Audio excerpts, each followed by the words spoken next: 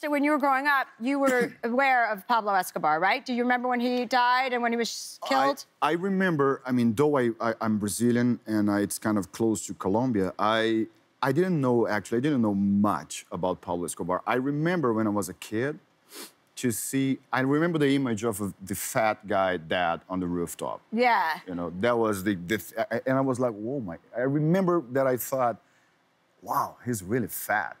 You know, that was my my like a kid, my kid's uh, in my imagination.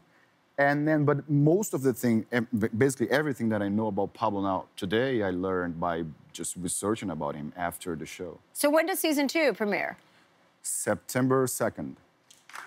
Yeah. It's really cool. It's a really cool season. It's all about Pablo on the run because the first season covers uh, like 10 years of Pablo's life from the day, first day he sees cocaine for the first time till the day he escapes from La Catedral. So it's kind of 10 years. And now it's a very, sh- it's, it's, it's from the day Pablo escapes till his death. So in the season. Pablo's gonna die this season. Oh, wow. Spoiler alert. It's just funny. if you go to Google, you, you kind of can't see what happens to Pablo. Okay, okay. Well, that's interesting to gonna know. Thank to you him. for Yeah, sharing yeah, that yeah, with us.